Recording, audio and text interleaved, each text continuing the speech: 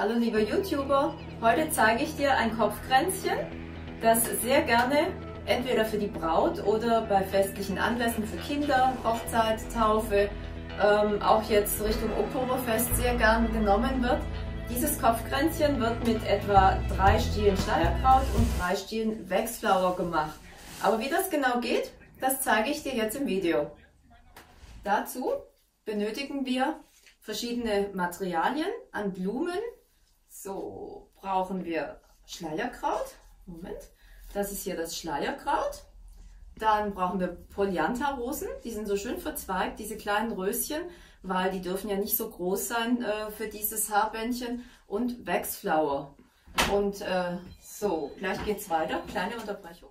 So, ich habe die kleine Unterbrechung genutzt und habe schon mal richtig schön vorbereitet, was man für dieses Kopfkränzchen braucht. Das sind richtig schöne kleine Stückchen Waxflower, Schleierkraut. Die dürfen also nicht so lang sein, müssen schön kurz sein. Und äh, die Polyantha-Rosen, die werden nachher geklebt, weil wenn man die wickelt, dann brechen die ab. Das ist ziemlich doof. Und dann brauch, braucht man ein feines Bändchen, weil dieses Bändchen, das wird dann am Kopf abgemessen, genauso ähnlich, und wird dann danach zu einer Schleife gebunden.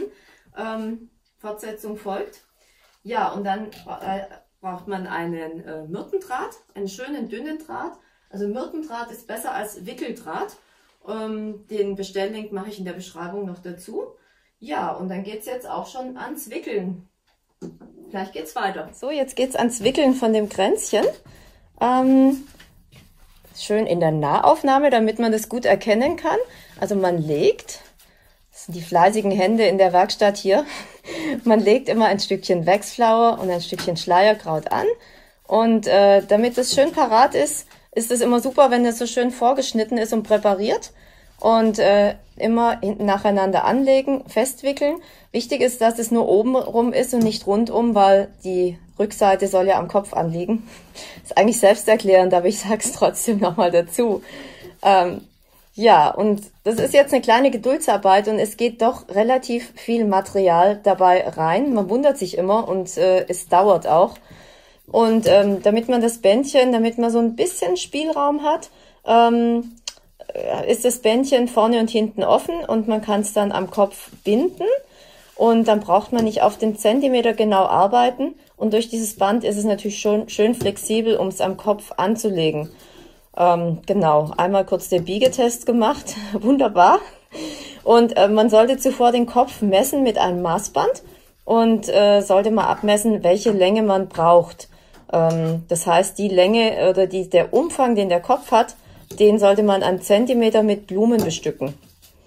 Ja, jetzt geht's gleich in den Zeitraffer und da gibt's auch ein bisschen Musik dazu, weil äh, das dauert jetzt ein bisschen. Viel Spaß dabei.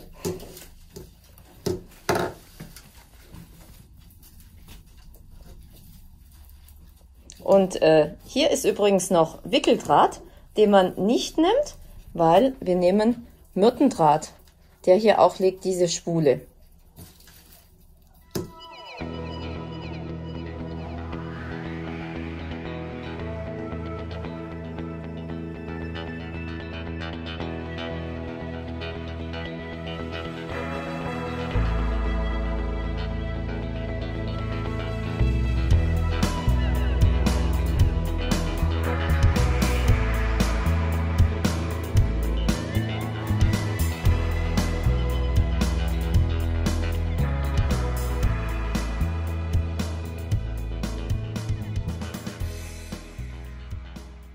Jetzt kommen die Polyantha-Rosen ins Spiel. Bis jetzt hatten wir nur Waxflower und Schleierkraut.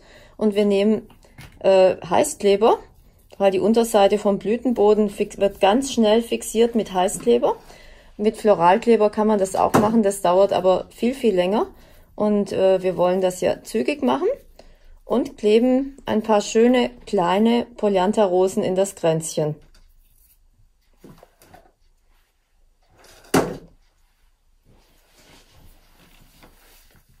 Unsere Haarkränzchen sind jetzt fertig. Hier sind alle gewickelt, mit Zentimeterangaben versehen. Die anderen haben wir schon haltbar gemacht und in Folie angesprüht, damit sie im Kühlschrank über Nacht gut halten. So, und jetzt kommt unser super Mini-Model. Und hier kommt die Anprobe. Moment, ich muss gerade mal hinterherlaufen. Ja. Oh, sehr süß.